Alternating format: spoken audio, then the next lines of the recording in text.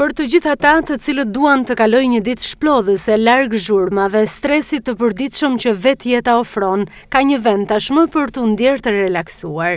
Agroturizmi Pema e Jetës, i ngritur në fshatin Shkallnur të Durrësit nga biznesmeni Artur Bujari, ofron tashmë vetëm prodhime bio. Ky agroturizëm është shëndërruar gjerësisht në një mënyrë të kalimit të kohës duke ofruar larmi aktivitetesh dhe përvojash.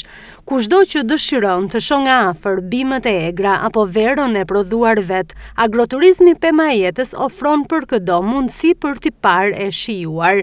Pema e Jetës ofron gjithashtu konsum të ushqimeve organike.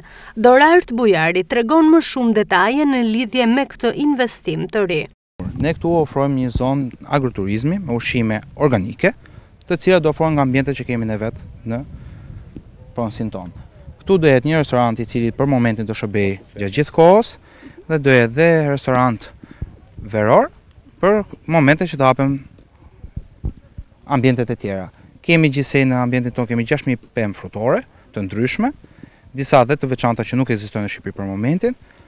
Perimi është baza kryesore dhe nga atje vjen dhe emri jonë, sepse është një frut dioksidant. Gjithashtu kemi ullitë tonë, ku do prodhojmë vaj. Punishtet janë filluar që tashi me prodhimet e ndryshme të djathit. Dhe ambjentet që ofrojmë ne për momentin janë këndi i lojërave që shpresojmë që brenda dy tre ditëve do jetë i përfunduar. Do kemi parkimin që më vonë Do bëhet në ambientet e sipërme dhe një fushë tenisi futbolli. Gjithashtu, do të ofrojmë edhe produkte që njerëzit mbasi të hajnë drekë te ne, mund të zgjedhin vetë një nga llojshmëritë tona të perimeve dhe frutave, për t'i marrë me vete dhe na kenë pranë gjatë gjithë kohës.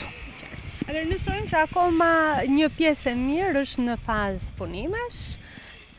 Kur mendoni që mund të jetë gati njëqind për qind? Ne shpresojmë që gjatë gjithë kohës çfarë të nxjerrim këtu, ta investojmë më shumë që ta bëjmë ambientin akoma më të mirë për të gjithë njerëzit që do vijnë te ne. Dhe çdo gjë do pranohen dhe këshillat ne i mirëpresim, siç jemi edhe në Instagram dhe në Facebook me adresën Pema e Jetës. Shpresojmë që njerëzit të lejnë komente dhe dëshirat e tyre që ça do donë që ne të ndryshojmë ose të përmirësojmë. Tashi për ambientet, ushqimin e prodhojmë të gjithë vetë, duke filluar nga mishi, tek produktet e djathit siç e përmenda edhe më përpar, dhe tek fruta perimet në bazë të stinave.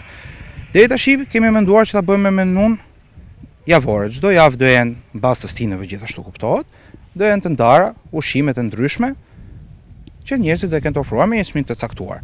Kuptohet që do kemi edhe një menu të hapur në rast se dikush do të dëshirojë diçka të ndryshme.